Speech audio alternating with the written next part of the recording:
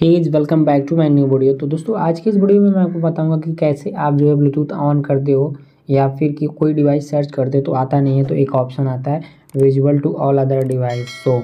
तो वो चालू करने का ऑप्शन रहता है, अगर आप चालू नहीं करते हो तो भी जो आपको काफ़ी दिक्कतें हो जाती हैं। और दिक्कत क्या होती है आपको? सबसे पहले मैं ब्लूटूथ को ओपन कर लेता हूँ। ओपन करने के बाद देखो मेरा ब्लूटूथ चालू है और यहाँ से थ्री डॉट पे मैं क्लिक करके एडवांस सेटिंग में अगर जाता हूँ तो मुझे वो ऑप्शन देखने को मिल जाता है विजिबल टू अदर डिवाइसेस तो इसको अगर मैं बंद कर देता हूँ और यहाँ से गए जो है, मेरा हमेशा अवेलेबल डिवाइस रहता है और किसी का ब्लूटूथ खुला भी है, मैं किसी को कुछ भेजना चाहता हूँ तो उसका नाम नहीं आता तो मेन दिक्कत यही हो जाता है। तो आपको ये चीज़ आपकी सेटिंग में दिखे एडवांस सेटिंग में, या फिर कहीं यहीं, कहीं पे अगर दिख रही है तो इसको आप हमेशा ऑन रखो। ऑन रखने से होता क्या है कि जो भी नज़दीकी डिवाइस रहते हैं, उनका ब्लूटूथ खुला रहता है, उस डिवाइस का ऑन रहता है तो वो सभी आप में शो करने लगते हैं और इजीली कनेक्ट कर सकते हो आप पेयर करके। तो ब्लूटूथ का यही मतलब होता है, विजिबल टू